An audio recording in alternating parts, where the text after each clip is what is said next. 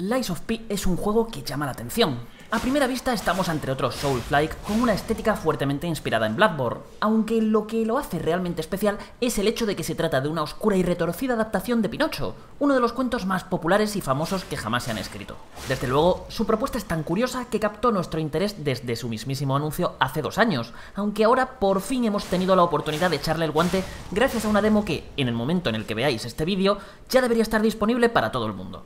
Su historia nos lleva hasta la ciudad de Krat, un lugar que ha acabado por convertirse en un auténtico infierno por culpa de una plaga que está acabando con sus habitantes. Por si esta situación no fuese lo suficientemente desesperada ya de por sí, las marionetas que antaño servían como protectoras de la urbe y que se encargaban de ayudar a los ciudadanos se han vuelto locas y ahora se dedican a cazar con furia a cualquier humano que se cruza en su camino. Por suerte para todos, el gran artesano Gepetto creó una marioneta muy especial llamada Pinocho, una que, a diferencia de las demás, realmente parece humana y tiene la capacidad de hacer lo que otras no pueden, como mentir. La aventura comienza cuando una voz despierta a nuestro héroe, momento en el que tomaremos su control y empezaremos a explorar Krat buscando la forma de salvarla y devolver todo a la normalidad. Una tarea que nos llevará a luchar contra todo tipo de peligrosos autómatas mientras desbloqueamos atajos, encontramos tesoros, mejoramos a Pinocho y, por supuesto, hacemos morder el polvo a gigantescos jefes que no dudarán en ponernos las cosas difíciles. En lo puramente jugable nos hemos encontrado ante un Souls-like de manual que sigue a pies juntillas la fórmula habitual. De este modo, exploraremos una serie de niveles donde desbloquearemos multitud de puertas, escaleras y ascensores para que nos sirvan de atajos. Hay puntos de control donde descansar, recargar nuestras pociones de vida y realizar gestiones que también sirven como puntos de viaje rápido y que hacen que todos los enemigos reaparezcan al tocarlos. El sistema de combate se basa en la gestión de una barra de resistencia que se consume cuando golpeamos, defendemos y esquivamos. Y al morir, toda la experiencia que hayamos acumulado y no hayamos usado caerá al suelo, obligándonos a llegar de nuevo al punto en el que nos derrotaron para recuperarla.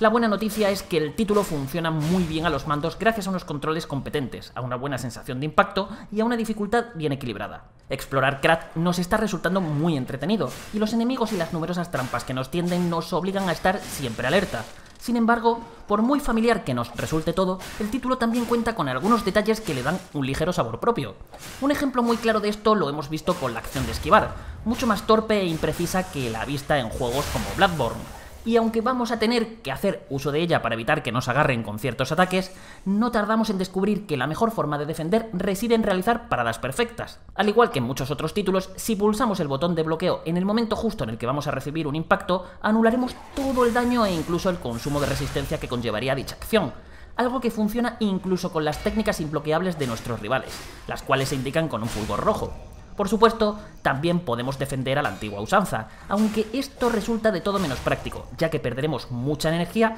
y el daño que nos hagan se convertirá en daño temporal que podemos recuperar si atacamos a nuestro contrincante justo a continuación, algo que no siempre vamos a poder hacer. El timing que requieren las paradas perfectas no es demasiado exigente y su ejecución nos ha parecido muy satisfactoria, convirtiendo los combates contra los rivales más duros en una experiencia muy intensa y divertida que nos obliga a aprendernos bien sus erráticas animaciones y asumir el riesgo que supone fallar esta maniobra defensiva. Otro detalle interesante lo tenemos en la barra de vida de los enemigos más fuertes, quienes regeneran parte del daño que les hagamos cuando no estamos atacando, dándonos un incentivo adicional para que juguemos con algo más de agresividad a la vez que ejercen cierta presión mental sobre nosotros para que nos precipitemos y cometamos errores. Además, habrá momentos en los que el contorno del medidor de salud del enemigo se volverá blanco durante unos segundos, algo que podemos aprovechar para ejecutar un golpe fuerte cargado y aturdirlo.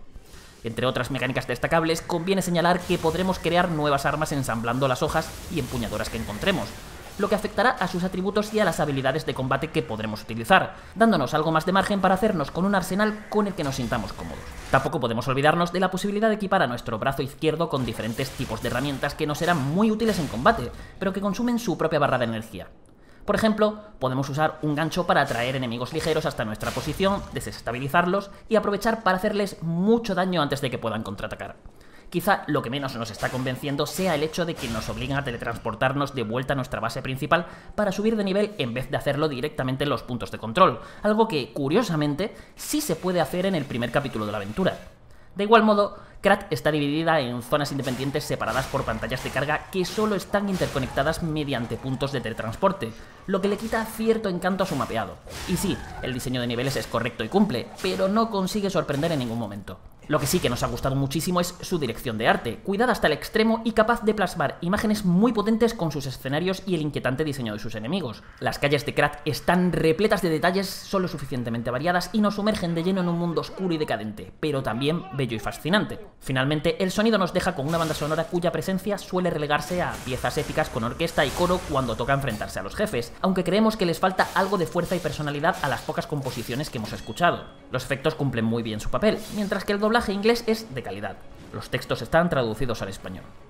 Puede que Lies of P no haga nada nuevo ni demasiado original, pero cumple de sobra con su cometido de entretener y hacernos pasar un buen rato mientras luchamos por sobrevivir en un mundo con una dirección de arte fantástica, virtudes a las que tenemos que añadir ese atractivo adicional que tiene el ofrecernos una visión tan diferente y única de un cuento tan querido como Pinocho. Esta primera toma de contacto ha terminado de dejarnos bien claro que se trata de un Souls-like muy prometedor que apunta a hacer las delicias de los fans de este tipo de aventuras. Así que si os interesa lo que propone, no dudéis en dar una oportunidad a su demo. Seguro que la disfrutáis.